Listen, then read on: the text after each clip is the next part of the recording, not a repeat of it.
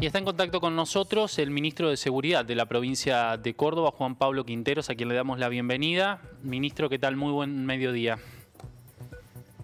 ¿Qué tal? ¿Cómo le va? Muy bien. Buenas tardes. Gracias por este tiempo con, nosotros. Bueno, para poder charlar sobre cuestiones que hacen a la, seguridad de la provincia de Córdoba, lógicamente eh, desde aquí muy preocupados por lo que es este comienzo terrible que estamos teniendo en el año 2024. El primer crimen del año y el primer crimen que tiene como protagonista a una persona que es víctima de un hecho de, de robo, una persona que muere en un aparente hecho de robo. Sí, eh, lo vemos con preocupación. Eh, en el caso de este ministerio es el primer este, homicidio en ocasión de robo que nosotros eh, tenemos este, desde que asumimos el 10 de diciembre y por supuesto como todos estos hechos nos duele mucho y hay muchos factores que tenemos que evaluar en este caso. Eh, eh, como dato, le quiero decir que mm, muy poco después, a los 15, 20 minutos, teníamos detenida a la persona que fue la presunta autora del hecho, este, pero bueno, nada le va a devolver la vida al vecino de Río Cuarto, que en un hecho de esta característica perdió la vida. Y, la segunda situación que hay que evaluar es que, según los informes preliminares que tenemos, quiero ser prudente porque hay un fiscal que está investigando y que, y que va a ser el que el que en definitiva va a determinar las circunstancias del hecho, eh, te habría estado bajo los efectos de estupefacientes, que es una situación que vemos con bastante preocupación en muchos de los hechos que se están produciendo este, en la provincia de Córdoba. Entonces, digamos, la, esta multicausalidad de situaciones para que que una persona se pueda este, volcar al delito, eh, la vemos con preocupación. Cuando estos factores se dan de manera simultánea, si nosotros, una persona por el hecho de la pobreza no se va a volcar al delito, pero si eso le sumamos otros factores de riesgo, como son la adicción, las adicciones a los estupefacientes, o al alcohol, o, la tenencia de armas ilegales, este, o la exclusión este, social que una persona pueda sufrir, bueno, evidentemente pueden conducir a al camino delictivo. Nos preocupa, nos preocupa mucho. En Río Cuarto estuvimos, el primer acto que hizo este gobierno de la provincia de Córdoba fue en la ciudad de Río Cuarto. El día 11 de diciembre fuimos a presentar 40 efectivos policiales, 200 armas de letalidad reducida, 200 armas birnas, que ya están en poder de la policía de, eh, Córdoba, que está eh, en la departamental y en ese caso en la ciudad de Río Cuarto. Los 40 efectivos fueron, fueron para la ciudad de Río Cuarto, si no me equivoco, fueron 30 suboficiales y 10 oficiales. Y bueno, es eh, una ciudad a la que le prestamos mucha atención, como a todas las de la provincia de Córdoba, pero bueno, hay, hay lugares en los que se encienden las luces de alerta. Eh, Río Cuarto es una de ellas y vamos a estar trabajando. Eh, le anuncio de ya, hoy estuve hablando con, con el intendente Llamosas, en 15 días aproximadamente vamos a estar haciendo un procedimiento interfuerzas, como lo hicimos en San Francisco, luego un convenio que firmamos con el ministro Bullrich, así que ahí seguramente van a poder ver eh, cuál es el alcance y cuál es el objetivo en territorio de esta acción interfuerza, que es Policía de la Provincia de Córdoba, Fuerza Policial Antinarcotráfico, Gendarmería Nacional, Policía de Seguridad Aeroportuaria y mm, Policía Federal. Bueno, eh, bueno, en principio eh, uno celebra, bueno, imaginamos que todos, la celeridad de, haber dado con el presunto homicida que se lo haya detenido, pero ayer también cuando charlábamos con los vecinos, y nuestro noticiero es un noticiero de puertas muy abiertas a, la palabra de los vecinos, nos manifestaban una preocupación que tiene que ver con la cuestión preventiva, dicen que por lo menos hace seis meses que están en, como en un territorio de nadie, hoy no hay ningún vecino que no pueda contar sobre un hecho de inseguridad, de que a la noche le por los techos. Esta misma familia a la que ayer atacó este delincuente había llamado a las 4 de la mañana porque le intentaban robar un tubo de gas y tres horas después el delincuente vuelve y los termina matando. Eh, la preocupación está en, en lo que se pueda hacer para prevenir los hechos.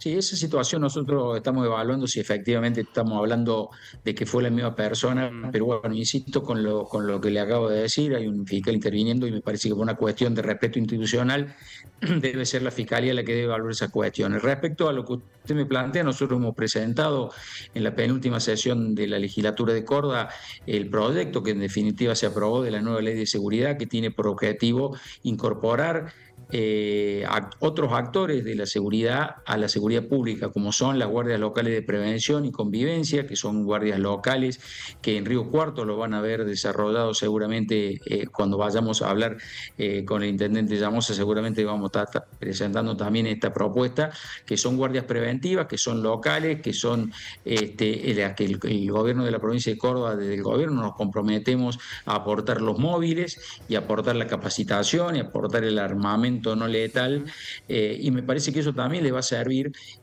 como más ojos en la calle, más prevención en la calle, seguramente va a ser este, más efectiva la prevención de los hechos delictivos. Claramente no reemplazan a la policía, la policía va a actuar este, eh, con, este complemento que va a ser una ayuda. La eh, seguridad privada también va a tener un rol importante en el esquema que viene, pero bueno, eh, no son cambios que se logren de un día para el otro y la gente lo que está necesitando son cambios inmediatos. Por eso yo con mucha responsabilidad tengo que decirle que estamos trabajando de destajo, la verdad que hemos, hemos hecho cambios en la policía, en la estructura de la fuerza policial que son muy importantes. Y, de hecho eh, eh, vamos a intentar que en el cortísimo plazo se pueda ver más patrullaje, más gente en la calle, más efectivos policiales en la calle. El, gobernador Yarlora ha dado una clara instrucción respecto a esto. Todos los efectivos en condiciones de prestar servicio de calle, tarea operativa de calle, tienen que estar eh, patrullando y, cuidando a los vecinos, porque me parece que ese es el principal requerimiento. Nosotros tenemos una fuerza policial eh, que se capacita día a día, que, le vamos a, que vamos a hacer mucha inversión en capacitación. También quiero decirle que el gobierno de Córdoba ha decidido hacer una fuerte, muy fuerte inversión tecnológica. Eh, el intendente Llamosa me decía esta mañana que los domos anduvieron en el lugar donde sucedió el hecho, eh, que se pudieron identificar y me parece que eso es importante. Sí, eh, perdón, ministro, sobre ese tema puntual quería consultarle. Eh, usted usted nos, nos eh, le quería preguntar cuál es la valoración que hacía sobre la cuestión de las centrales de, monitoreo, su utilidad y demás. Ese es un tema bastante urticante en nuestra ciudad por hechos previos donde,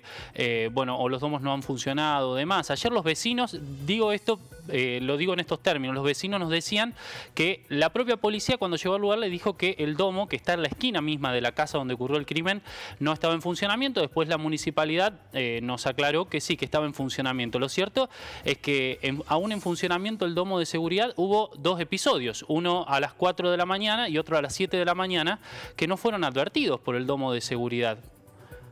O sea que en funcionamiento tampoco, tampoco sirvió para la prevención el domo. los domos tienen eh, una doble función en el tema de seguridad, la prevención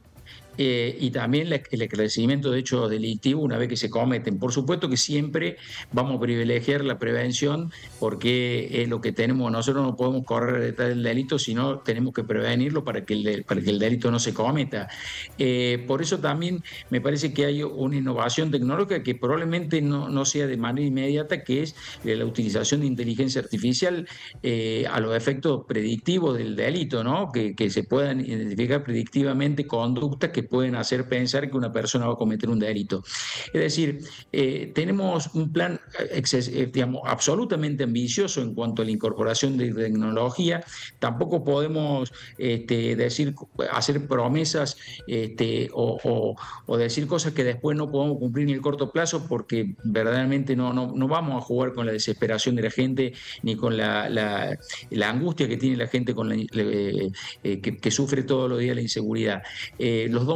los domos sirven, ese domo estaba funcionando, probablemente eh, podrían haber, eh, usted me plantea que si podrían haber detectado eh, preventivamente, probablemente sí, seguramente para eso, los ponemos, para prevenir el delito, pero también nos sirvieron para esclarecer el hecho, lo cual es muy importante. Bien, y la otra cuestión que quería preguntarle, sé que tiene un, compromiso y queremos cumplir con eso, pero ¿qué, evalúa en torno a la cantidad de, armas que están circulando. Eh, es impresionante la cantidad de hechos. Nosotros venimos de un fin de semana, por ejemplo, donde hubo dos, dos baleados en dos, en dos episodios, pero en muchísimos hechos se registra la presencia de, armas de fuego. ¿De dónde salen? ¿De dónde vienen? ¿Se tiene pensado hacer algo para tratar de sacar de circulación esa gran cantidad de armas que hoy están en poder de muchas personas, incluso de menores de edad? Sí, recién le comentaba yo que hablaba de la multiplicidad de factores de riesgo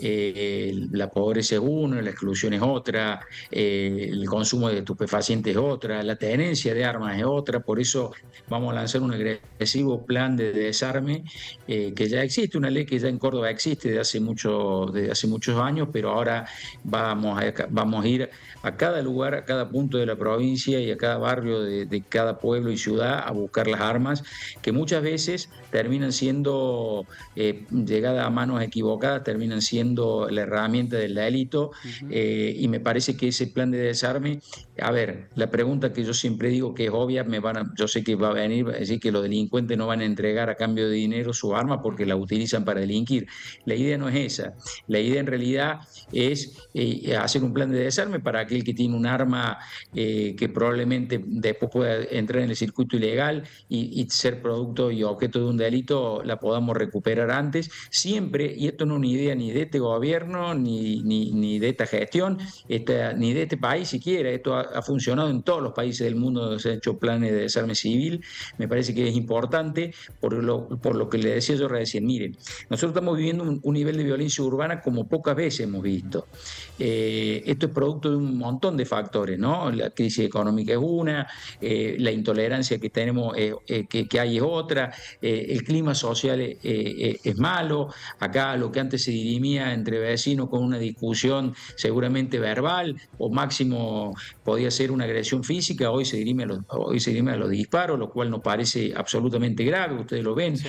nosotros tenemos una estadística, cuando nosotros fuimos a Río Cuarto en el mes de, en el mes de enero, de diciembre, perdón, hasta ese día de diciembre habíamos tenido 11 muertos, 11 homicidios en Río Cuarto, hasta desde el 1 de enero hasta el 11 de diciembre, de los cuales dos habían sido en ocasión de robo, uno, si no me equivoco, era con la muerte de un delincuente, habíamos tenido eh, hechos de, femicidio, pero la gran mayoría de los casos eran casos de violencia urbana, con lo cual está claro que ese factor está latente y permanentemente presente, eh, tanto en Río Cuarto como en Córdoba Capital y como en otras ciudades, con lo cual este es un tema que nos preocupa, nos ocupa mucho y nosotros estamos, desde todo punto de vista, el gobierno está trabajando. Este ministerio está trabajando en el contacto directo con desarrollo humano, con el Ministerio de Justicia, con el área de desarrollo social, para la contención en algunos sectores en lo que verdaderamente vemos que tenemos jóvenes que cada vez este, se vuelcan más al delito por esos factores de riesgo y esos múltiples factores de riesgo que se van acumulando y llevan a, a conductas delictivas y me parece que en ese sentido tenemos que trabajar. Nosotros tenemos eh, en este ministerio un mes de trabajo pero créame que el esfuerzo es, absoluto, el compromiso es total eh, y sin duda los resultados positivos van a llegar porque, insisto, hay voluntad política, hay, hay recursos en la medida que, este, que esta crisis no, no, no se agrave de manera determinante como para que impida, por ejemplo, el ingreso de tecnología. Usted sabe que la tecnología es, muy onerosa eh, y estamos atados a las condiciones eh, de la macroeconomía, pero nosotros eh, tenemos la... a ver, este, esta, para el gobernador el área central, la lucha contra el narcotráfico es central, creo que eso desde mi punto de vista, y esto lo digo a título personal, el eh, alto consumo de drogas nos está, este, está produciendo un daño enorme en nuestra sociedad y que también este, hace que los hechos delictivos sean muchas veces cada vez más violentos, por eso es una de las banderas que tenemos en este gobierno para atacar en el corto plazo. Bien, ministro, no le robamos más tiempo, le agradecemos por el tiempo que nos ha dispensado aquí en Telediario. Muchas gracias. Bueno, mucho. Hasta luego. Muchas gracias.